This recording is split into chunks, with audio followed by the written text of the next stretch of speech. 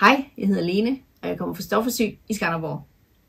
Jeg sidder her med en fix lille maskine, og det er et spoleapparat. Det er nu muligt at få et eksternt transportabelt spoleapparat til sine symaskiner, når man har FAF Husqvarna Viking eller en Singer-maskine. Og det er simpelthen en lille praktisk anordning, så man kan spole sine ekstra spoler.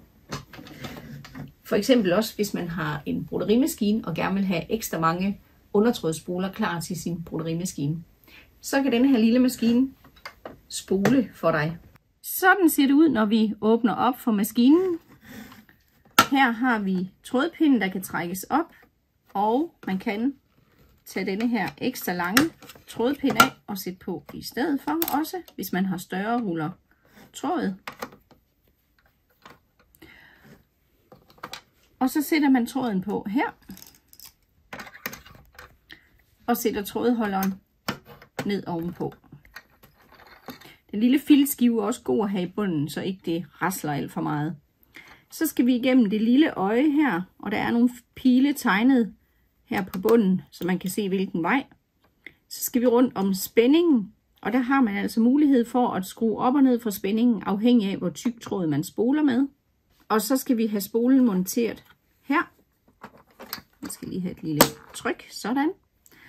Og så spoler jeg, jeg tråden rundt op i toppen af spolen lige nogle gange. Så slår jeg den her lille fjeder over og starter for spoleapparatet her.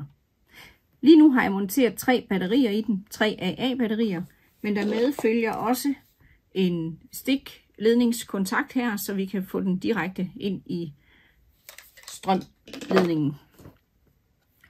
Men tænd på on, og det kører der ud af. Spoleapparatet slår selv fra. Hvis ikke du skal have så meget på, så slår du spoleapparatet fra, og så stopper spolen. Men ellers så slår den helt selv fra, når spolen er fyldt.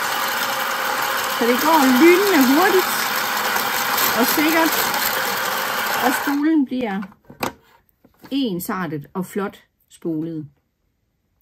Så en vaks lille ting, som du kan bruge til din FAF, Husqvarna Viking og Singer-maskiner. Bliver du i tvivl om, hvilket apparat, der passer til din spole, så kontakt os endelig, så guider vi dig, så du får det rigtige apparat, spoleapparat. Så sådan virker det. God fornøjelse.